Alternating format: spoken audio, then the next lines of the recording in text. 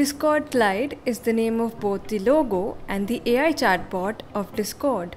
It has been around for years as a fake bot that sends system messages to users.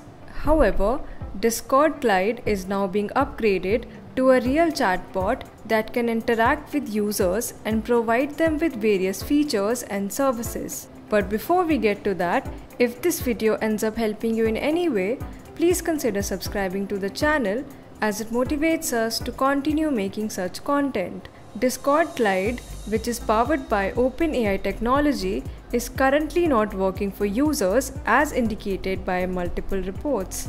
It is an experimental feature that is currently available for a number of Discord servers. So, when some server admins received a notification indicating that they are eligible, they turned it on right away in their server settings. But even after doing that, server members are unable to chat with Discord AI chatbot by mentioning at Clyde in any text channel or by direct message. As per Discord, server administrators will be informed a few days before Clyde becomes accessible on their server. Therefore, if you get a notification about this feature, you will need to wait a few days before you can finally use this functionality. There are also a few things that you can try.